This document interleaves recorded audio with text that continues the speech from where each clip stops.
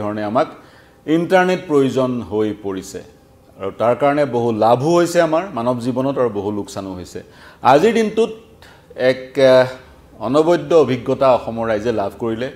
আন আন সময়ত তেনেধৰণৰ অভিজ্ঞতা লাভ কৰাৰ সুযোগ অসমৰ ৰাইজে নাপায়। আৰু অভিজ্ঞতাটো হৈছে আজি ৰাতিপুৱাৰ পৰা আবেলিলৈকে।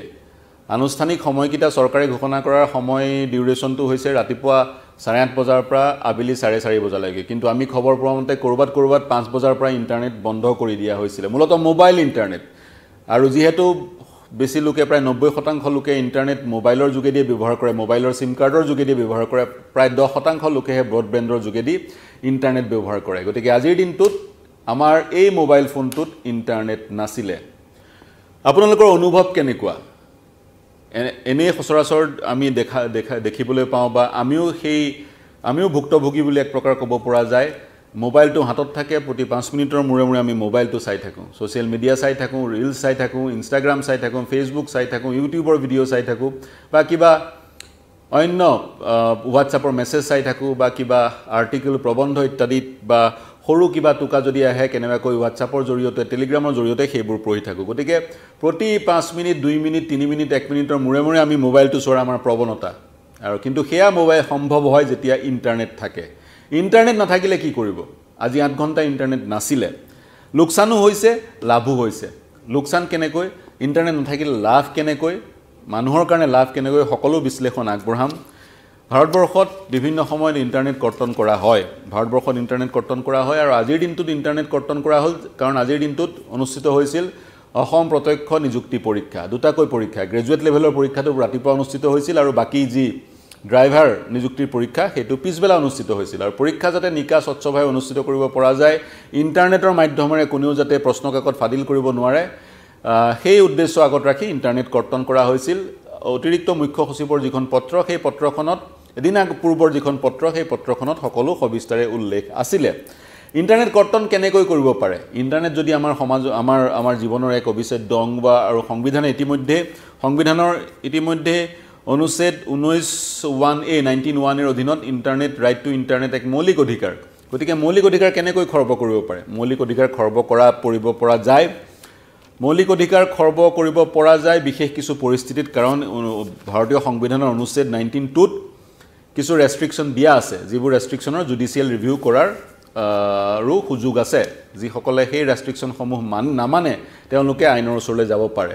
আৰু আইনৰ ওচৰলৈ গৈছেও পৰীক্ষাৰ কাৰণে ইণ্টাৰনেট কৰ্ট পৰীক্ষা অনুষ্ঠিত কৰিবলৈ ইণ্টাৰনেট কৰ্তন কৰাৰ কাৰণে আইনৰ ওচৰলৈ যোৱাও উদাহৰণ আছে নজিৰ আছে সেই বিষয়ে ক'ম। এতিয়া ইণ্টাৰনেট কৰ্তন কৰাৰ নিয়মটো হৈছে Indian telegraph act eighteen eighty five internet আজিৰ যুগৰ বস্তু কিন্তু কৰ্তন কৰা হয় ব্ৰিটিছে প্ৰণয়ন কৰা ওঠৰশ পঁচাশী চনতে প্ৰণয়ন কৰা এখন আইনৰ যোগেদি। আইনখনৰ নাম হৈছে Indian telegraph act eighteen eighty five সেই আইনখনৰ দফা পাঁচ আৰু দফা সাতৰ অধীনত চৰকাৰক ক্ষমতা দিয়া হৈছে বিশেষ পৰিৱেশ পৰিস্থিতিত ইণ্টাৰনেট কৰ্তন কৰিবলৈ। আৰু সেই বিশেষ পৰিৱেশ পৰিস্থিতিৰ দোহাই দি ছেকশ্যন ফাইভ আৰু ছেকশ্যন ছেভেনৰ ক্ষমতা ব্যৱহাৰ কৰি ৰাজ্য চৰকাৰে ইণ্টাৰনেট কৰ্তন কৰিলে। কৰ্তনৰ ব্যৱস্থাটোৰ নাম হৈছে temporary suspension of telecom services public emergency or public safety rules এই ৰুলৰ অধীনত ইণ্টাৰনেট কৰ্তন কৰিব পৰা যায়। আৰু কিছুদিনৰ আগতে ছেপ্টেম্বৰ একৈছ বাইছ তাৰিখে ঝাৰখণ্ডত এটা পৰীক্ষা অনুষ্ঠিত হৈছিল চৰকাৰী পৰীক্ষা। সেই পৰীক্ষাটো দুদিন দুদিনৰ কাৰণে অনুষ্ঠিত হৈছিল ছেপ্টেম্বৰ একৈছ আৰু ছেপ্টেম্বৰ বাইছ তাৰিখে। আৰু ঝাৰখণ্ড চৰকাৰে ইণ্টাৰনেট কৰ্তন কৰিছিলে। কিন্তু নটিফিকেশ্যনখনত ঝাৰখণ্ড চৰকাৰে মোবাইল ইণ্টাৰনেট কৰ- কৰ্তন কৰাৰ কথা আছিলে কিন্তু বৰ ব্ৰডবেণ্ডো কৰ্তন কৰি দিলে। এজন লোক বাৰ বাৰ এছ'চিয়েশ্যনৰ যিজন সভাপতি ঝাৰখণ্ড বাৰ এছ'চিয়েশ্যনৰ তেওঁ ছুপ্ৰিম কোৰ্টত আহ, মুখ্য ন্যায় ক্ষমা কৰিব ঝাৰখণ্ড উচ্চ ন্যায়ালয়ৰ মুখ্য ন্যায়াধীশলৈ এখন পত্ৰ প্ৰেৰণ কৰিলে। মুখ্য ন্যায়াধীশে সেই পত্ৰখনক ৰূপান্তৰ কৰিলে পি আই এললৈ আৰু শুনানি আৰম্ভ হ'ল এখন খণ্ড বিচাৰপীঠত। জাষ্টিছ আনন্দ বোছ বোছ আৰু জাষ্টিছ অনিৰুদ্ধ ৰাৱত চৌধুৰীৰ খণ্ড বিচাৰপীঠত শুনানি আৰম্ভ হ'ল আৰু তেওঁলোকে কিন্তু এক নিৰ্দেশ দিলে। পৰৱৰ্তী শুনানি নৱেম্বৰৰ পোন্ধৰ তাৰিখে ঝাৰখণ্ড উচ্চ ন্যায়ালয়ে নিৰ্দেশ দিলে অনাগত সময়ত যদি ইণ্টাৰনেট কৰ্তনৰ প্ৰয়োজনীয়তা হয় প্ৰয়োজনীয়তা হয় চৰকাৰে উপলব্ধি কৰে প্ৰয়োজন আছে ইণ্টাৰনেট কৰ্তনৰ হাইকোৰ্টৰ অনুমতি লৈহে ইণ্টাৰনেট কৰ্তন কৰিব পাৰিব। গতিকে তেনেধৰণৰ নিৰ্দেশ ঝাৰখণ্ডত দিয়া হৈছিলে। অসমত তেনেধৰণৰ নিৰ্দেশ দিয়া হোৱা নাছিলে বা অসমত কোনেও ইণ্টাৰনেট কৰ্তনক লৈ উচ্চতম ন্যায়ালয়ত গোচৰ তৰ ক্ষমা কৰিব গুৱাহাটী উচ্চ ন্যায়ালয়ত গোচৰ তৰা নাছিলে। গতিকে উচ্চ গুৱাহাটী উচ্চ ন্যায়ালয়ৰ প্ৰসংগটো এই মুহূৰ্তত অপ্ৰাসংগিক। এই মুহূৰ্তত আলোচনাৰ বিষয় আলোচ্য বিষয় নহয় কাৰণ গুৱাহাটী উচ্চ ন্যায়ালয়ৰ কোনো কাষ চপা নাই। আজিৰ দিনটোত ইণ্টাৰনেট কৰ্তন হৈ থাকিলে বা আঠ ঘণ্টা ন ঘণ্টা ইণ্টাৰনেট কৰ্তন হোৱাৰ কাৰণে অসমৰ অৰ্থনৈতিকভাৱে প্ৰভাৱটো স্বাভাৱিকতে পৰিবই। ইণ্টাৰনেট কৰ্তন হৈ থকাৰ কাৰণে বিভিন্ন কাম কাজ আজি অৰ্থনৈতিক কাম কাজ বন্ধ হৈ থাকিলে। বস্তু ক্ৰয় কৰিবৰ কাৰণে গুগল পে' ব্যৱহাৰ কৰিব পৰা নগ'ল বা আইন অন্যান্য ইউ পি আই এপসমূহ ব্যৱহাৰ কৰিব পৰা নগ'ল। ইণ্টাৰনেট ট্ৰেঞ্জেকশ্যন বন্ধ হৈ থাকিলে। মোবাইলৰ যোগেদি যিবোৰ ইণ্টাৰনেট ট্ৰেঞ্জে- ট্ৰেঞ্জেকশ্যন হয় বন্ধ হৈ থাকিলে। বেংকৰ কাম কাজতো বাধাৰ সৃষ্টি হ'ল যদিও বেংকত ব্ৰডবেণ্ড ইণ্টাৰনেট ব্যৱহাৰ কৰা হয় বা কাৰ্যালয়সমূহত ব্ৰডবেণ্ড ইণ্টাৰনেট ব্যৱহাৰ কৰা হয়। কিন্তু বেংকৰ যদি মই কথা ক'বলৈ যোৱা যাওঁ বেংকৰ যিসমূহ কাষ্টমাৰ তেওঁলোকে মোবাইল ইণ্টাৰনেটৰ যোগেদি সেই লেনদেনবোৰ কৰিলেহেঁতেন। যিহেতু ইণ্টাৰনেট বন্ধ তেওঁলোকে এই আঠ ঘণ্টা সময় লেনদেন কৰিব নোৱাৰিলে। আৰু এক সমীক্ষা মতে ভাৰতবৰ্ষত দুহেজাৰ তেইছ চনত ইণ্টাৰনেট শ্বাটডাউন কৰাৰ কাৰণে ভাৰতবৰ্ষত বিভিন্ন সময়ত ইণ্টাৰনেট শ্বাটডাউন কৰা হৈছে। সেয়া পৰীক্ষা অনুষ্ঠিত কৰিবৰ কাৰণে নহয় কিন্তু বিভিন্ন সংঘাতৰ যেতিয়া সূত্ৰপাত হৈছে সংঘাত যাতে আৰু নাবাঢ়ে ইণ্টাৰনেটৰ যোগেদি ভুৱা বাতৰি যাতে প্ৰচাৰ কৰি সংঘাত আৰু যাতে বৃদ্ধি কৰিব পৰা নাযায় সেই উদ্দেশ্য আগত ৰাখি ভাৰতবৰ্ষত বহুবাৰ ইণ্টাৰনেট কৰ্তন কৰা হৈছিলে। ভাৰতবৰ্ষত ইণ্টাৰনেট কৰ্তন কৰাৰ কাৰণে দুহেজাৰ তেইছ বৰ্ষত ভাৰতবৰ্ষৰ লোকচান হৈছিল ডলাৰ দুশ ষোল্ল বিলিয়ন। দুশ ষোল্ল বিলিয়ন ডলাৰ লোকচান হৈছিলে। আৰু এই সময়ছোৱাত প্ৰায় ছয় কোটি লোক এফেক্টেড হৈছিলে প্ৰভাৱিত হৈছিলে। আৰু সমগ্ৰ ভাৰতবৰ্ষত দুহেজাৰ তেইছ চনত চৌবিছ চনৰ আমাৰ ডেটাটো আমাৰ হাতত নাই চৌবিছ চনৰ চৌবিছ চন অন্ত পৰিবলৈ আৰু কেইমাহমান কেইমাহমান বাকী আছে দুই আঢ়ৈ মাহ বাকী আছে যি কি নহওক দুহেজাৰ তেইছ চনত ভাৰতবৰ্ষত আঠ হাজাৰ ঘণ্টা ইণ্টাৰনেট বন্ধ কৰি থোৱা হৈছিলে। তাৰে মণিপুৰত মণিপুৰত যিহেতু দুই সম্প্ৰদায়ৰ মাজত সংঘাতৰ সূত্ৰপাত হৈছিল বহু লোকৰ মৃত্যু ঘটিছিলে বহু লোক গৃহহীন হৈছিলে আশ্ৰয় লৈ থাকিবলগীয়া হৈছে চৰকাৰী আশ্ৰয়স্থলীত গতিকে মণিপুৰত পাঁচ হাজাৰ ঘণ্টা ইণ্টাৰনেট বিগত সময়ত বন্ধ ৰখা হৈছিলে। আৰু আৰু সমগ্ৰ ভাৰতবৰ্ষত আঠ হাজাৰ ঘণ্টা। আৰু লোকচান হৈছিলে ভাৰতবৰ্ষৰ ইণ্টাৰনেট কৰ্তনৰ কাৰণে ডলাৰ দুশ ষোল্ল বিলিয়ন। গতিকে অসমত আজি সেই ইণ্টাৰনেট কৰ্তন কৰাৰ কাৰণে বহু কোটি টকাৰ লোকচান হ'ব সেয়া নিশ্চিত। লোকচান যে হ'ব সেয়া নিশ্চিত। যি কি নহওক যি কি নহওক কিছু নিয়ম আছে। উচ্চতম ন্যায়ালয়ে কিছু গাইডলাইন দিছে। পোন্ধৰ দিনৰ বাবেহে ইণ্টাৰনেট কৰ্তন কৰিব পৰা যাব। চৰকাৰে যদি ভাবে ইণ্টাৰনেট কৰ্তন কৰিব লাগে পোন্ধৰ দিন কৰ্তন কৰিব পাৰিব পুনৰ ৰেষ্টৰ কৰিব লাগিব আৰু তাৰপিছত যদি উপলব্ধি কৰে পুনৰ প্ৰয়োজনীয়তা আহি যদি পৰে কৰ্তনৰ তেতিয়া কৰ্তন কৰিব পাৰিব। এটা সময়ত কিন্তু পোন্ধৰ দিনতকৈ অধিক ইণ্টাৰনেট কৰ্তন কৰিব নোৱাৰিব। তেনে বহু ৰুল আছে আৰু ছাছপেনশ্যনৰ ফলত ইণ্টাৰনেট কৰ্তনৰ ফলত স্বাভাৱিক স্বাভাৱিক জীৱন যাত্ৰা যাতে সামান্যহে সামা- স্বাভাৱিক জীৱন যাত্ৰাত যাতে সামান্যহে ব্যাঘাত জন্মে সেই কথাও সেই কথাৰো চকু ৰাখিব লাগিব। এতিয়া আহোঁ বিনা ইণ্টাৰনেটৰ এক জীৱন। বিনা ইণ্টাৰনেট আঠ ঘণ্টাৰ আজিৰ আপোনালোকৰ অভিজ্ঞতা কেনেকুৱা সেই সন্দৰ্ভত আপোনালোকক আহ্বান জনাম মন্তব্য দিবলৈ। বিনা ইণ্টাৰনেটৰে আজিৰ এই আঠ ঘণ্টা আপোনালোকৰ কেনেকৈ পাৰ হ'ল? বিনা ইণ্টাৰনেটৰে আঠ ঘণ্টা কেনেকৈ পাৰ হ'ল? বিনা ইণ্টাৰনেটৰ কিন্তু বহুকেইটা সুবিধা আছে বহুকেইটা পজিটিভ পইণ্টছো আছে। ইণ্টাৰনেট যদি আপুনি ব্যৱহাৰ নকৰে আপুনি সুস্বাস্থ্যৰ গৰাকী হৈ থাকিব পাৰিব।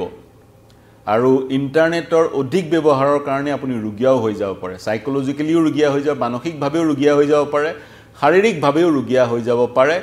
বিভিন্ন বৈজ্ঞানিক সমীক্ষা আৰু বিভিন্ন গৱেষণাত এইবোৰ কথা প্ৰকাশ পাইছে আৰু বিশ্বৰ নামী দামী জাৰ্নেলসমূহত এইবোৰ কথা প্ৰকাশ পাইছে। এতিয়া বিনা ইণ্টাৰনেটেৰে যদি আপুনি কিছু সময় থাকে তেতিয়া আপোনাৰ কি কি আপুনি কি কি ধৰণে আপুনি লাভান্বিত হ'ব পাৰে? আপোনাৰ যি মেণ্টেল হেল্থ সেই মেণ্টেল হেল্থ ইম্প্ৰুভ হ'ব। কাৰণ আপোনাৰ যি প্ৰৱণতা বাৰে বাৰে মোবাইলটো চাই থকা সেই প্ৰৱণতা হ্ৰাস পাব। আৰু সেই প্ৰৱণতা হ্ৰাস হ্ৰাস পোৱাৰ ফলত আপোনাৰ মনটোৱে শান্তি মনটোৱে মনটোৱে আপোনাৰ মেণ্টেল ষ্টেটটো কিছু স্থিৰ হ'ব অস্থিৰতা হ্ৰাস পাব। সেই অস্থিৰতা হ্ৰাস পোৱাৰ ফল- ফলত আপোনাৰ মেণ্টেল হেল্থ ইম্প্ৰুভ হ'ব। এংজাইটি নাথাকিব। ডিপ্ৰেশ্যন ডিপ্ৰেশ্যনৰ পৰা আপুনি মুক্ত হ'ব আৰু আপুনি শুবলৈ সময় পাব। ইণ্টাৰনেটৰ এক্সেচিভ ইউজৰ কাৰণে অতিৰিক্তভাৱে ইণ্টাৰনেট ব্যৱহাৰ কৰাৰ কাৰণে আপোনাৰ শোৱাৰ সময়কণ কমি গৈছে। বিশ্ব স্বাস্থ্য সন্থাৰ মতে এগৰাকী ব্যক্তি সাতৰ পৰা আঠ ঘণ্টা শুব লাগে যদি স্বাস্থ্যৱান হৈ থাকিব বিচাৰে।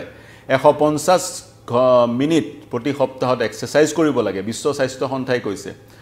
আৰু আপুনি ইণ্টাৰনেটৰ অতিৰিক্ত ব্যৱহাৰ কৰাৰ কাৰণে সেইখিনি কাম আপুনি কৰিব পৰা নাই। প্ৰতিদিনে আপুনি এক্সাৰচাইজ কৰিব পৰা নাই আপুনি সাত বা আঠ ঘণ্টা শুব পৰা নাই কাৰণ আপুনি ইণ্টাৰনেট চাই থাকে।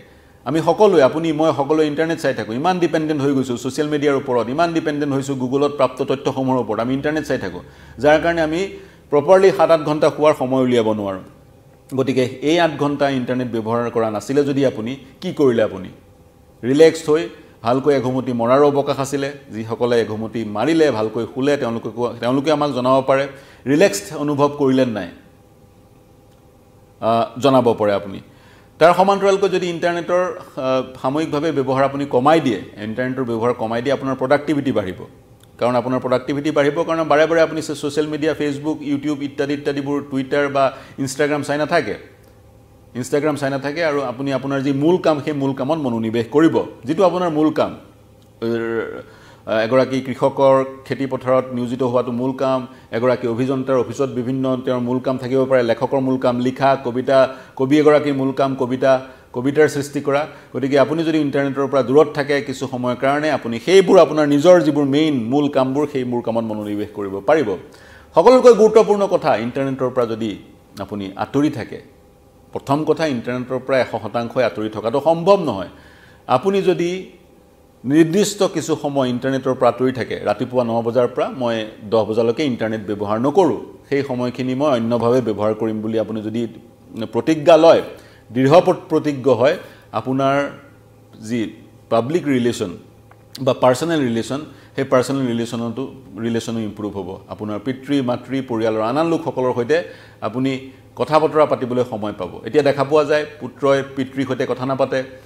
ডাইনিং টেবুলত ভাত খোৱাৰ সময়তো পিতৃয়ে নিজে মোবাইল চাই থাকিব মোবাইলত চাই কিবা ইউটিউব চাই থাকিব ফেচবুক চাই থাকিব নহ'লে কিবা অন্যান্য ভিডিঅ' বা হোৱাটছএপৰ মেছেজবোৰ পঢ়ি থাকিব। পুত্ৰয়ো ভাতৰ থালিখনৰ সন্মুখত মোবাইলটো লৈ তেওঁৰ নিজৰ যিখিনি বস্তু ইণ্টাৰনেটৰ যোগেদি লাভ কৰিছে সেইবোৰ সামগ্ৰী তেওঁ চাই থাকিব। গতিকে পাৰ ইজনে আনজনৰ সৈতে কথা নাপাতে।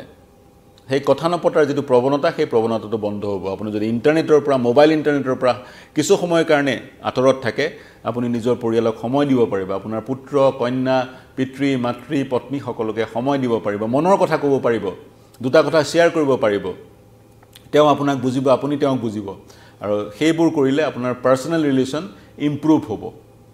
আৰু সেয়া সম্ভৱ হ'ব ইণ্টাৰনেটৰ পৰা সাময়িকভাৱে আঁতৰি থাকিলে। ছেল্ফ ৰিফ্লেকশ্যন কৰিব পাৰিব।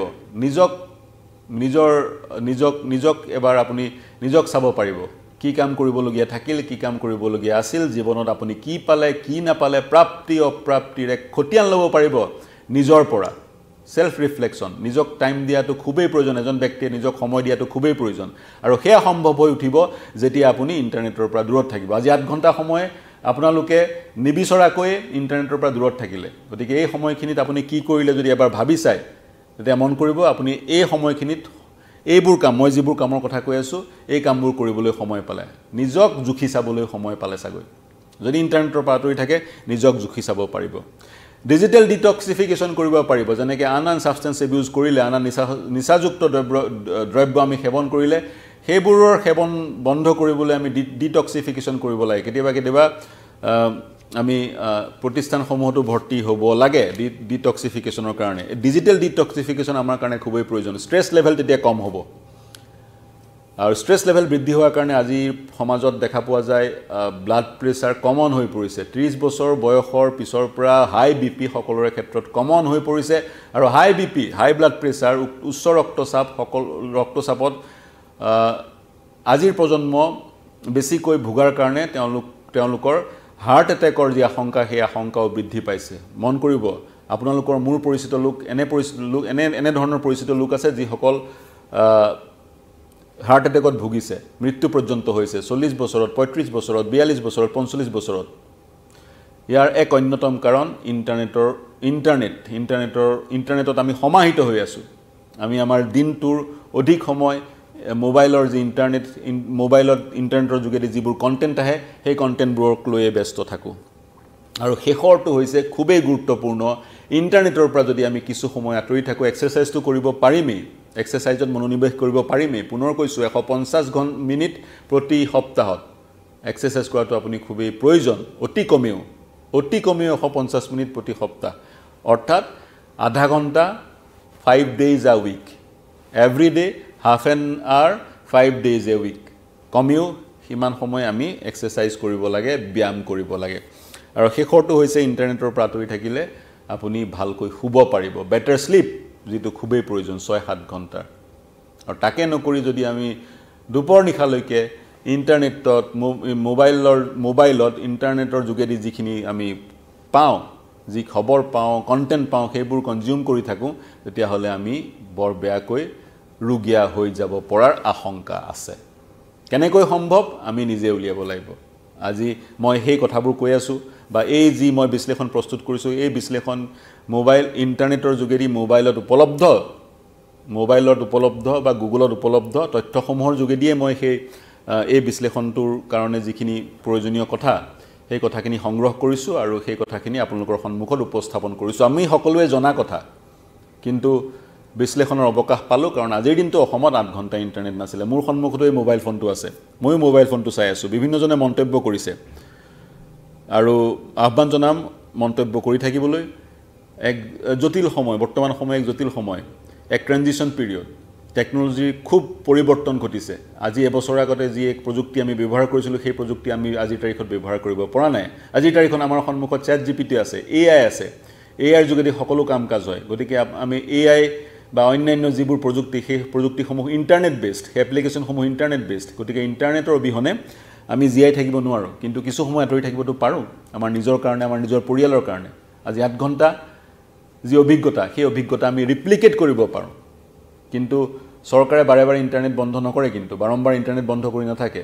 কাৰণ ইণ্টাৰনেট বন্ধ কৰাটো অন্যায়। ইণ্টাৰনেট বন্ধ কৰাটো আমাৰ মৌলিক অধিকাৰ খৰ্ব কৰাৰ সদৃশ এক অপৰাধ। গতিকে যেতিয়া খুব বেছি প্ৰয়োজন হ'ব অগত্যা নোৱাৰাকৈ নহয় তেতিয়াহে চৰকাৰে ইণ্টাৰনেট বন্ধ কৰিব। তেনেস্থলত আমি ইণ্টাৰনেটৰ পৰা মোবাইল ইণ্টাৰনেটৰ পৰা আঁতৰি থকাৰ সময় নিজে উলিয়াব লাগিব যাতে আমি নিজে সুস্থ থাকোঁ নিজেই কুশলে থাকোঁ আৰু পৰিয়ালৰ আন আন লোকসকল কুশলে থাকে। মই কুশলে থাকিলে মোৰ পৰিয়াল কুশলে থাকিব মোৰ পৰিয়াল কুশলে থাকিলে মোৰ সমাজ কুশলে থাকিব সমাজ কুশলে থাকিলে ৰাজ্য কুশলে থাকিব ৰাজ্য কুশলে থাকিলে দেশ কুশলে থাকিব। প্ৰিয় দৰ্শক অৱকাশ পালোঁ। আজি আঠ ঘণ্টাৰ ইণ্টাৰনেট কৰ্তন কৰাৰ কাৰণে এই বিশ্লেষণ আগবঢ়াবলৈ। বিশ্লেষণ কেনে পালে জনাব? কিবা মতামত দিব বিচাৰিলে পৰামৰ্শ দিব বিচাৰিলে প্ৰত্যুত্তৰ দিব বিচাৰিলে আপোনালোকে দিব আমাৰ ইউটিউব চেনেলৰ ফেচবুক পেজত প্ৰৱেশ কৰি কমেণ্ট ছেকশ্যনত তাৰ সমান্তৰালকৈ এটা আন এটা এটা দিশ এই মুহূৰ্তত অন্ত পেলোৱাৰ আগতে কৈ যাব বিচাৰিছোঁ। শিশুসকলৰ মাজত যি মোবাইল চোৱাৰ প্ৰৱণতা বৃদ্ধি পাইছে মোবাইলৰ ইণ্টাৰনেটৰ যোগেদি উপলব্ধ কণ্টেণ্ট চোৱাৰ প্ৰৱণতা বৃদ্ধি পাইছে ই কিন্তু পেডিয়েট্ৰিক্সসকলে ক'ব বিচাৰে ই কিন্তু আমাৰ দেশখন আমাৰ নতুন প্ৰজন্মক আহি থকা প্ৰজন্মক ধ্বংস কৰি পেলাব। এই প্ৰজন্মটো হাই ব্লাড প্ৰেছাৰত ভুগিব ষোল্ল বছৰত আৰু জুভেনাইল ডায়েবেটিছত ভুগিব ওঠৰ বছৰত। গতিকে এনেধৰণৰ সমস্যাসমূহ কিন্তু আমাৰ সন্মুখত দেখা দিব। তাৰ সমান্তৰালকৈ যদিহে জন্মৰ পিছৰে পৰা জন্মাহৰ ছমাহৰ পিছৰে পৰা মোবাইল চোৱাৰ প্ৰৱণতা এটা শিশু এটা বেবীৰ মাজত এটা কেঁচুৱাৰ মাজত দেখা পোৱা যায় সেই কেঁচুৱাটো সেই কেঁচুৱাটো ভাৰ্চুৱেল অটিজিমত ভোগাৰো আশংকা থাকে বা তেনেধৰণে ভাৰ্চুৱেল অটিজিমত ভোগাৰ উদাহৰণ আছে। গতিকে শিশুসকল ইণ্টাৰনেটৰ পৰা মোবাইলৰ পৰা আঁতৰত থাকিব লাগে তেওঁলোকে ফিজিকেলি এংগেজ হ'ব লাগে বিভিন্ন ইণ্টাৰেক্টিভ কাম কাজবোৰত আৰু ডাঙৰসকল জ্যেষ্ঠসকলে সময় উলিয়াই পৰিকল্পনা কৰি কৌশলগতভাৱে ইণ্টাৰনেটৰ পৰা মোবাইল ইণ্টাৰনেটৰ পৰা কিছু সময় আঁতৰত থকাটো কাম্য তেতিয়াহে সুস্থ হৈ থাকিব কুশলে থাকিব। প্ৰিয় দৰ্শক এতিয়ালৈ এতিয়ালৈ এৰিলোঁ। মন্তব্য দিব প্ৰত্যুত্তৰ দিব আপোনালোকৰ মন্তব্য প্ৰত্যুত্তৰ আমাৰ কাৰণে চালিকা শক্তি তাৰ সমান্তৰালকৈ দেশ বিশ্ব ৰাজ্যৰ সকলো বা বাতৰিৰ কাৰণে চাই থাকিব। News eighteen Assam north east. ধন্যবাদ।